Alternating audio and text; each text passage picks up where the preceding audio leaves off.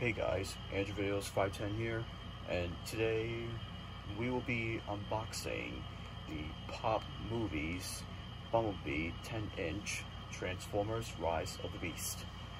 Now I know for me, it's been a while since I haven't done any unboxing videos, so yeah, this guy was, I got him from Walmart for like $40 I think, but yeah, $40.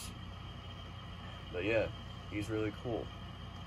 I never owned a bigger Funko Pop figure like this, so yeah, since last time from Target, from a couple years ago, I saw like a Boba Fett one that's like black and red, I think.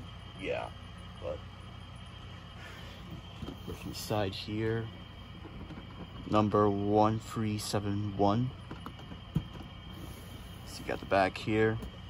Now, I wish there would be more of it, but they have smaller ones, like regular size of the newer versions of the Transformers Rise of the Beast movie of Funko Pops.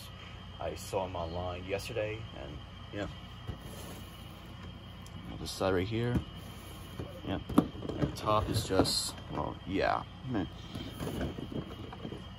So I decided to make a video of him because I thought it'd be much easier. Well, I never seen anybody else reviewing him or unboxing it and putting him into the collections, but yeah. Gonna open this guy up. Let's get him out of the box.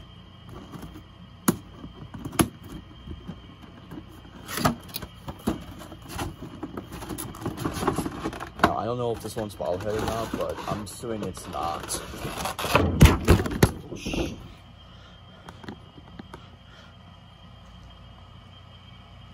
All right, there he is.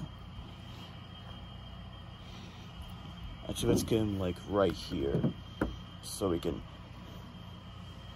So there he is. And yep.